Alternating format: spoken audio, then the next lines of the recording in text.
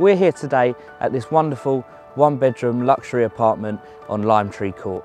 The property has a good sized living space, decent bathroom and a nice double bedroom. Also comes with one allocated parking space, walking distance to the town centre and close to the mainline train station.